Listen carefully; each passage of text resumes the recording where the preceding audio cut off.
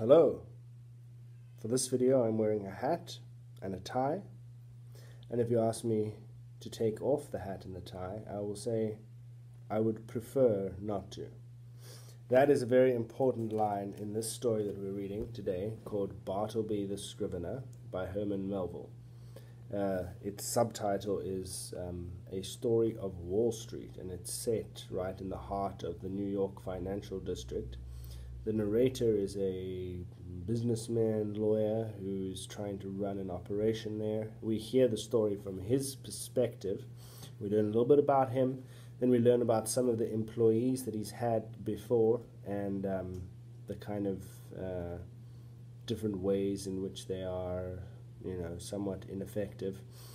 But then he has this employee called Bartleby and Bartleby is one of the most enigmatic characters in literature. He's extremely famous, and this line, I would prefer not to, is a kind of iconic line in literature because that's all that this character really says for the most part of the story. He has a few other lines, but with that line, with that piece of passive resistance, he kind of breaks the machinery of the capitalist Wall Street legal machinations that are going on. Uh, and then ultimately, he ends up. I won't tell you how he ends up. You'll have to read through to see what happens to him. And um, I want you to think about this character and what exactly is up with him. Uh, is he some kind of enlightened, intelligent being who is trying to disrupt a corrupt system, or is he just a unfortunately mentally troubled man who is unable to deal with the realities of life, um, the difficult realities of life, or the not so difficult realities of life, just being expected to hold down a job? Uh, and what does it tell us about society to see the way that he ends up? What does it tell us about us? What does it tell us about him? Uh, I want you to think about all those things when you're reading the story, and then I want you also to pay close attention to the very end of the story.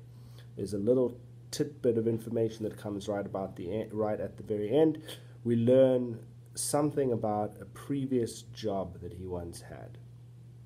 And it's obviously very important that Melville, the writer, decided to include this piece of information right at the end it's meant to recast the way in which we understand the character of Bartleby the Scrivener.